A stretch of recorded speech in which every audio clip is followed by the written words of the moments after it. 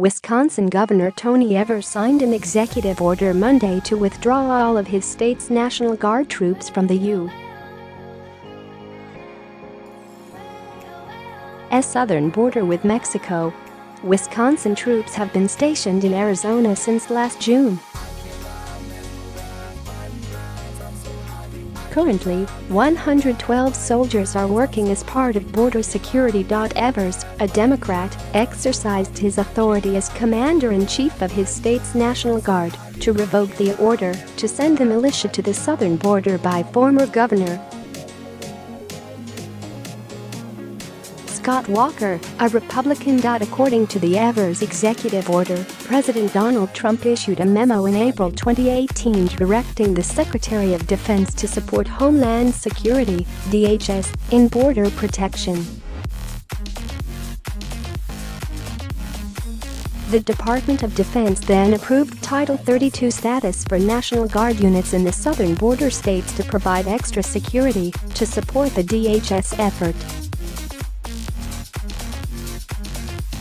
Then Governor Walker sent troops to the border on June 21, 2018, when Arizona requested the extra troops, according to the Associated Press.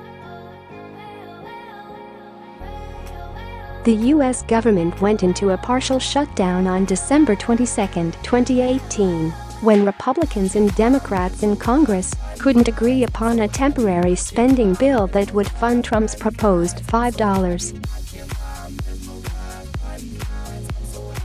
7 billion border wall. Once the government reopened, a bipartisan committee hashed out an agreement that included less than a quarter of Trump's wish, and the president declared a national emergency to obtain funding for his barrier.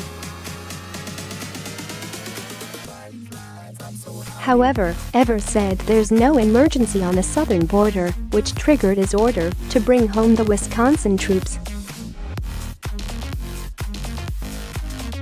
There is simply not ample evidence to support the president's contention of a national security crisis at our southwestern border.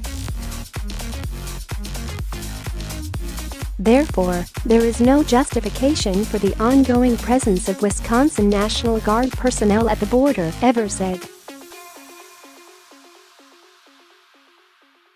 Evers isn't the first governor to bring home National Guard troops from the border, as the governors of New Mexico and California both issued the same orders earlier this month, according to The Hill. Though the president has been granted nearly $1.4 billion in border wall funding by Congress, Trump declared a national emergency 16 states have filed a lawsuit against the White House, saying Trump's declaration is a way to circumvent Congress